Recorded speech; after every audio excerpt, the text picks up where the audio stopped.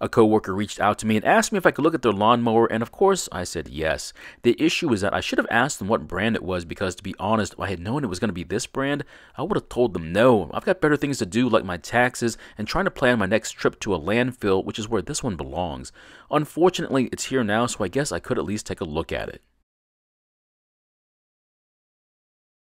In today's video, we look at this PowerSmart lawnmower and the problem is that quite surprisingly, it won't start. Now, I didn't get much information about it, but apparently it was only used once or twice before the season was over and then it went into storage. And just like clockwork, when the next mowing season came around, it wouldn't start. To be honest, I thought this was going to be an easy case, but it turned out it was anything but that. Now, I'm going to try and repair this mower, however, it may not be the exact repair you need to make to yours. We'll explore other options later in the video. Now, we're only going to mention what these other options could be. We don't have enough time to look into them, but if you need more information on these options, you're welcome to ask as many questions as you need to. First off, if you didn't know, this has to be one of the worst mowers I've had a chance to work on. The quality of the materials is questionable and its durability is just what you expect from an overseas engine maker. Now it looks like a mower, but if you stare at it long enough, you'd swear you could see it coming apart while it's sitting still. Joking aside, do not buy this mower. The first thing to do would be to see what I'm working with. So it looks like we have plenty of gasoline in the tank, although who knows what kind of condition it's in. That means we'll need to drain it so we can examine it. Now the oil should look great for only being used a couple of times. However, it seems to be a bit dark for only being a couple of hours on the engine. So I'm beginning to question the information I've been given, but at least it's at the right level for once. Let's see what happens when we try and start it.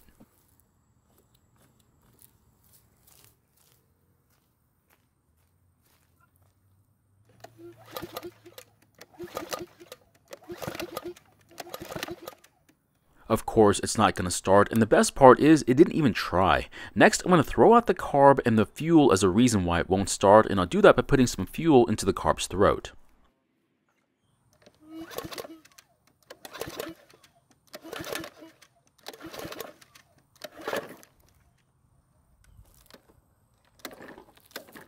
So this is a first for me. This engine just jammed. I can't pull on the rope at all. In this situation, do not use the rope to free the engine because you could break the rope or possibly damage the recoil system. Unfortunately, this puts our troubleshooting to a standstill, but I'm pretty confident I'll be able to free it. In the meantime, I'll get it up on the table so we can get a better look at it. With the mower on the table, it's much easier to drain the fuel, so that's what we'll start with. So the gasoline is not in terrible condition. By the color, it seems to be only a few months old, so it's still usable. I also don't see any water at the bottom of the jar, but if there was any water in it, it would have made its way to the carb, so we'll have to drain the fuel from there as well, emptying the rest of the gasoline that's left in the tank. Now, there's still no water here either, so I have a feeling the fuel in the carb will be fine as well. While the mower is at a convenient height, I'm also going to lubricate the wheels. The main reason to do this is to keep them from wearing out on the axle, which would make it wobble like a shopping cart at Megamart. Now this is going to spin for quite some time, so we'll come back to it later on and see if it's still spinning or if it's finally stopped. So if I try turning the engine by using the blade, it still doesn't want to rotate, which is quite surprising. Now I don't want to use too much force, so I'm going to remove the spark plug just in case it's hydro-locked. If so, taking out the plug would help to get it free. Now after getting the spark plug out, I'm not surprised to see that it's an overseas plug, so we're going to have to check it and see if it still works. And the plug is not covered in oil or fuel, so I don't think it's hydro-locked. Unfortunately, even with the spark plug out of the engine, it's still not free to rotate, which is not a good sign. And if we take a look back at the wheel, it's still spinning, so we'll have to check on it later on. The next thing I want to do is check to see if there's an issue with the valve train that's keeping the engine from spinning. The issue is that if the problem isn't here, it might be inside the engine, which is a really bad situation to have. After trying to free the engine again, this time it finally breaks free and it's now rotating just like it should. I really can't explain what happened to it, but for me, I think there's a clearance issue inside the engine that's causing it to jam up. Now, since the engine is now free and I'm about to lose my lighting, this would be a great time to test if we have a spark from the ignition system.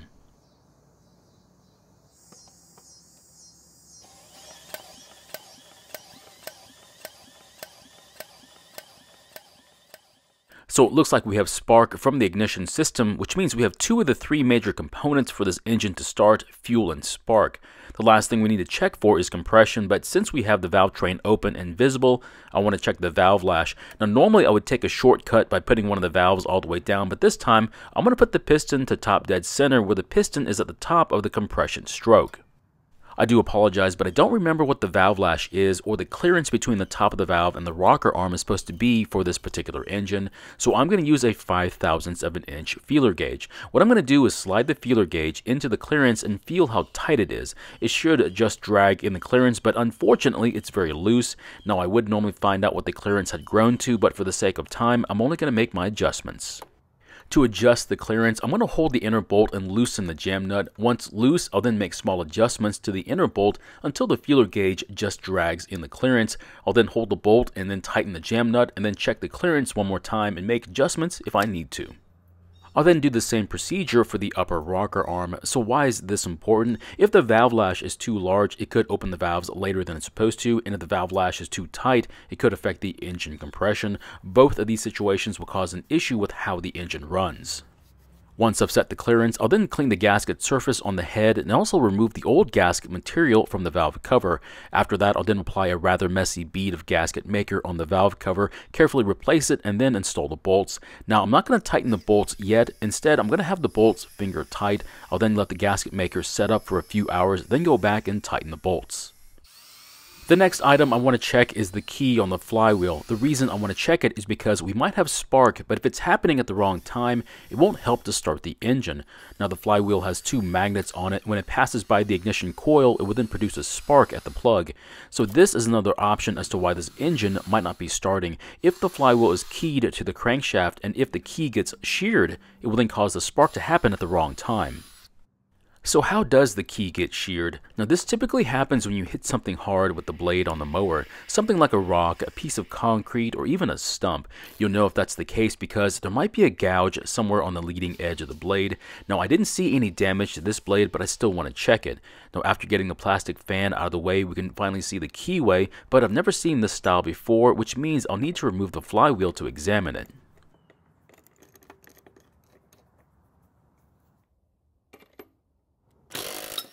Now there are different ways to remove the flywheel, but using a puller is probably the safest way. It'll keep you from damaging the crank or the flywheel. Now with it gone, we can finally see the key. However, the key is still intact with no signs of damage, so unfortunately that means the ignition timing is not what's keeping the engine from starting.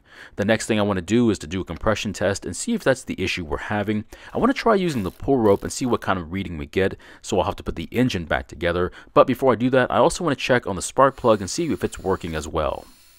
It's also been several hours since resealing the valve cover, so I want to check on that sample button I made for myself. Now, I didn't want the gasket maker to completely set up, I only want it to be a bit tacky with a lot of body. The reason why is that I didn't want it to be squished out of the mating surface by torquing the bolts down while it was still soft. So here's the sample button I made for myself, and yes, I know it's not the correct size to be tested, but then again, I'm not working on an airplane, it's just a lawnmower. It's definitely got some body to it, so I think it's safe to tighten the bolts down, and no, I'm not going to be using a torque wrench for this one either, and that's because it hasn't come back from being calibrated yet.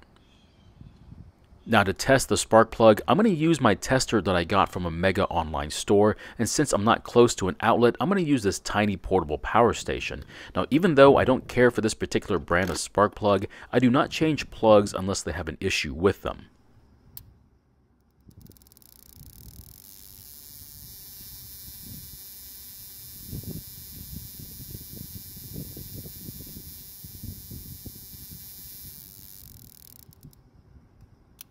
So it seems the spark plug is working just like it's supposed to. Now to properly test the spark plug, I need to put it into a pressure vessel and run the test again, but I'm not equipped to do that, so this will have to do. At least we know the ignition system is working, so the last thing we need to check is the compression. For this one, I'm going to use my compression tester, and it's going to measure how much pressure the engine can make on the compression stroke, and we want to see a reading well above 100 psi. If you need one of these, there's a link in the description.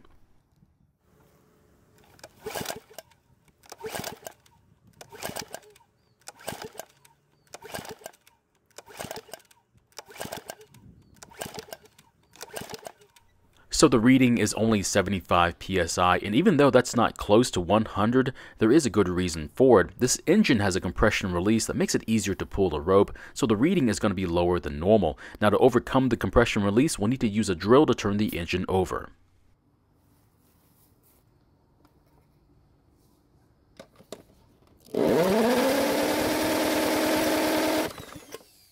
So the new reading is around 120 psi, and even though that sounds much better, it shows that we have a serious problem. This engine is already worn out, and even though the reading is low, it's more than enough to start and run. Since we know it has enough compression, I think it's time for another test start, but this time I'm going to cheat and use the drill to help get it started.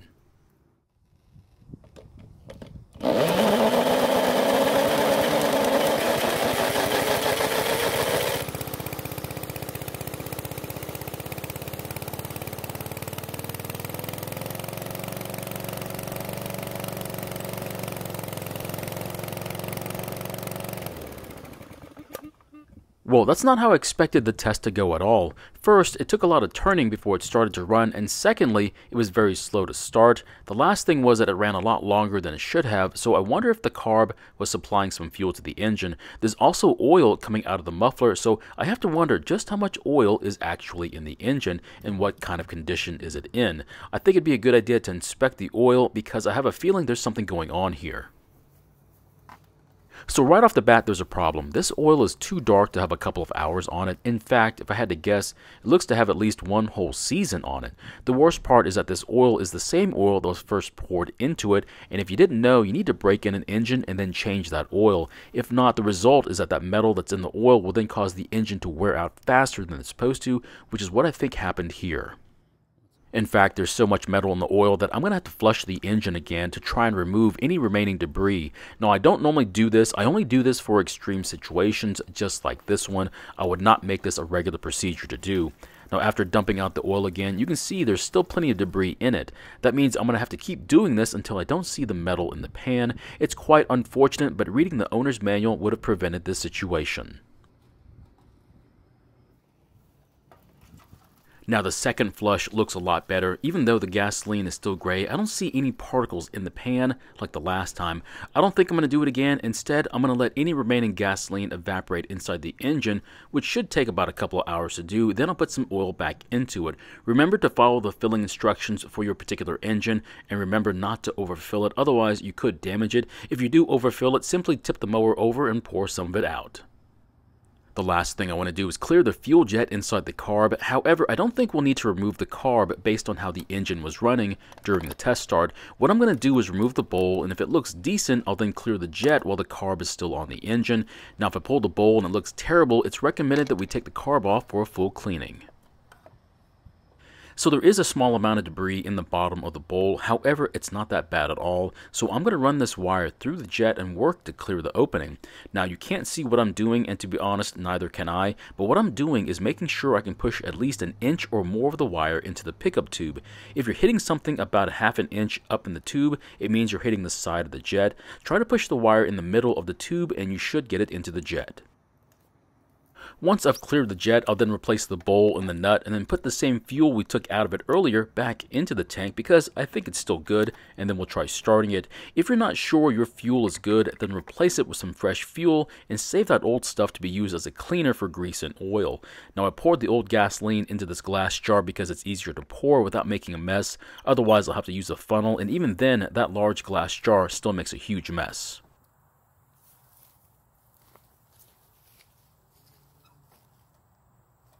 Thank you.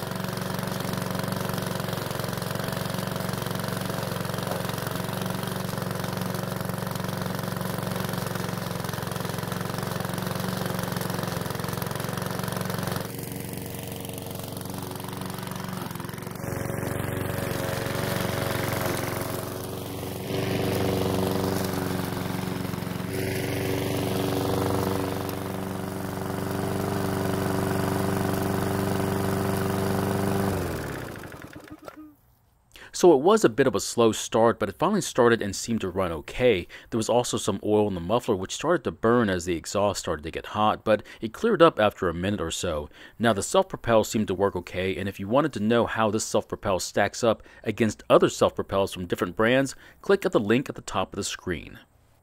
Now this field of grass isn't very dense, but it's much taller than the area I normally do my testing at, and to be honest, it did really well. I also have to be truthful in saying this, but I'm not sure why this engine wouldn't start, and also why it locked up the way it did during our first test start.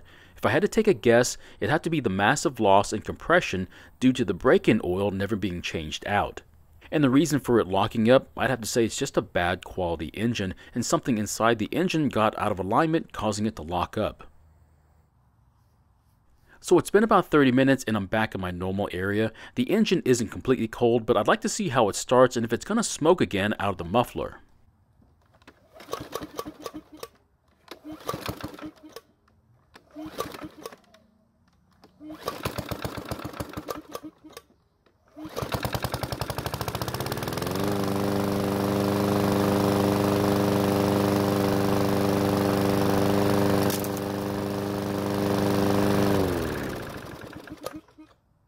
Well, it's still starting slow, so I'm going to guess the low compression from the engine is the cause for it. Otherwise, there's an issue with the governor. Either way, I don't expect this mower to last several seasons. In fact, I hope it makes it through this season. So in the end, this mower is working again, but to be honest, I'm not a big fan of this brand at all, and I would implore you, do not buy it. If someone asks you if you want a working lawnmower for free and it's this brand, decline the offer. This mower is not a quality machine. It might look like a lawnmower, but it's actually a boat anchor on wheels. You're simply asking for trouble if you think this mower will last half as long as any other current mower available on the market. So my question is, would you be willing to take the PowerSmart challenge and use this mower for the next season and see if you can keep it running without any major headaches? If you say yes, you're a better person than me. Thank you for watching. I really do appreciate your time here. Please feel free to ask me any questions about this project or your own projects, and I hope to see you in the next video.